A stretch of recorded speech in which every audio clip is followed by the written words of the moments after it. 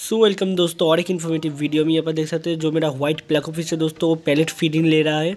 Palette क्यों feeding ले रहा है, बता देता हूँ दोस्तों, जब आपके एकोडियम में दोस्तों एलगी नहीं बचाए, थोड़ा सा भी जब इसे भूख लगता है, तब दोस्तों ये पैलेट फीडिंग लेता है। आप भी दोस्तों, आपके ब्लैक ऑफ़िस को कुछ देर बाद बाद दोस्तों पैलेट फीडिंग दे। चैनल को सब्सक्राइब कर दीजिए लाइक कर दिए ऐसे इन्फॉर्मेटिव वीडियोज़ के लिए। Thanks for watching